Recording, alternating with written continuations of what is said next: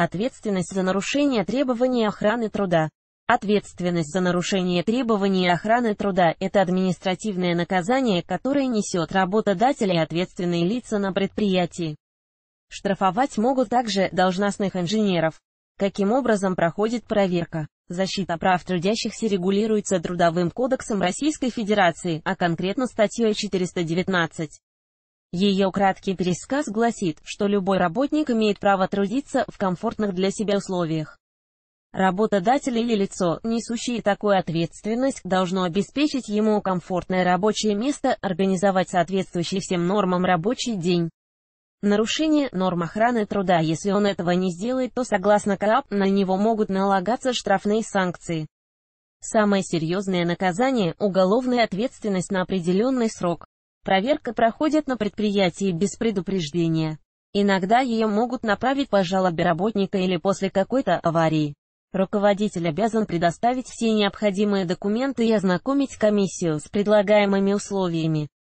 Члены группы также делают все необходимые замеры, обращая внимание на микроклимат и степень освещенности. Если обнаружено правонарушение, нарушитель обязательно должен быть наказан.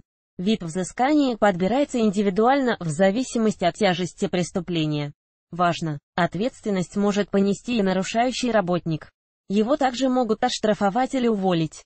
Охрана труда виды ответственности. Чаще всего комиссия назначает штраф за нарушение техники безопасности. Однако в некоторых случаях нарушитель получает более серьезное или более легкое наказание. Дисциплинарное взыскание чаще всего применяется не к работодателю, а к работникам, которые сознательно нарушили правила и нормы охраны труда. Оно накладывается на нарушителя за невыполнение несоблюдение норм при условии, что на предприятии он уже прошел обучение и имеет право приступить к работе. Кроме того, подобная ответственность грозит, если он не выполняет свои обязанности, неправильно делает работу и намеренно что-то портит. Поскольку ему лень что-либо делать. Важно, если вина работника не очевидна, создается специальная комиссия и проводится проверка. Главное правило – наказать человека, чья вина еще не доказана, незаконно. За это может пострадать уже работодатель. Возможно следующее наказание – выговор, временное отстранение от работы, увольнение. Иногда работника могут перевести на более низкооплачиваемую должность на определенный срок. Материальная ответственность в трудовом договоре при принятии работника на должность обычно прописывается пунктом материальной ответственности. Ему вменено какое-то имущество, и он должен сохранить его в любом случае. Он также не должен делать ничего, что может повредить другим сотрудникам. Важно, наложить ответственность нельзя, если обнаружено отсутствие злого умысла. Работник не должен платить, если авария случилась в ходе обычных хозяйственных рисков, а лед. Ответственность снимается, если он вынужден был обороняться, поскольку была угроза его жизни и здоровья. Наконец, ответственность несет не работник, если предприятие не обеспечило должных условий для хранения. Материальная ответственность подразумевает выплату определенной суммы денег. Работник должен выплатить все необходимые деньги предприятию, если из-за него пострадало имущество. Также человек выплачивает все необходимые компенсации пострадавшим, обеспечивая им должное лечение от последствий аварии или катастрофы. Штрафы за нарушение требований охраны труда. В 2018 году комиссия имеет право налагать штраф на должностное или юридическое лицо в размере, зависящем от тяжести правонарушения. О том, какой штраф будет можно узнать в соответствующих документах во время судебного заседания. Административная ответственность. Предусмотрена такая ответственность нарушение норм ТК для работников от 2000 до 5000 для предпринимателей от 2000 до 5000 для организации 50 тысяч или 80 тысяч рублей.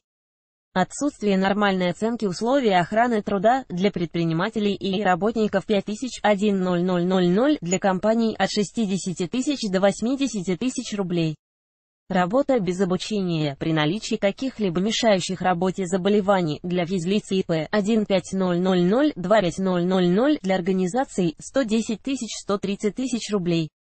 Отсутствие средств индивидуальной защиты для физлиц ИП 200003000 для организаций 130 тысяч 150 тысяч рублей. Повторное нарушение за короткий срок для работников и предпринимателей 30000-400000 для юрлиц 100 тысяч 200 тысяч рублей. Оплатить штраф можно в банке или на сайте налоговых органов. Уголовная ответственность при ярых нарушениях, повлекших к смерти или серьезных травмам сотрудников, возможно наложение правовой уголовной ответственности. Нарушителям грозит до 90 суток срока. Иногда уголовную ответственность могут заменить исправительными работами. Обратите внимание, порой сроки могут измеряться годами, если обнаружено повторное нарушение, повлекшее за собой достаточно серьезные последствия. Как сообщить о нарушении норм охраны труда? Подать жалобу имеет право любой работник, трудящийся на этом предприятии. Если ему кажется, что работодатель действует не в соответствии с ТК не организовал нормальное рабочее место и так далее, он имеет право подать заявление в региональную инспекцию. Жалоба в прокуратуру порой при невыплате заработной платы целесообразно описать в прокуратуру. Если же работник узнал о том, что на предприятии будет какое-то серьезное преступление, заявление уже следует подать в полицию. На заметку, на обращение должны среагировать в течение не нескольких недель. Еще одна возможность подать заявление в местный суд. В таком случае оно должно быть составлено по форме. Обычно, чтобы выиграть дело, для создания жалобы работники привлекают профессиональных юристов. Изменения в законодательстве. Начиная с 2014 года штрафы для юридических и физических лиц ужесточили. Также для работодателя была введена материальная и дисциплинарная ответственность.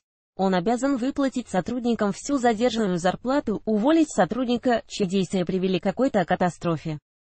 При этом в ближайшее время никаких изменений не планируется. В 2019 году ответственность останется такой же. Чтобы избежать штрафа за нарушение норм охраны труда, необходимо руководствоваться нормами Трудового кодекса РФ. Нельзя допускать задержек зарплаты. Следует правильно организовать рабочие места, чтобы те соответствовали всем требованиям безопасности. Звездочка, данные актуальны на июнь 2018 года.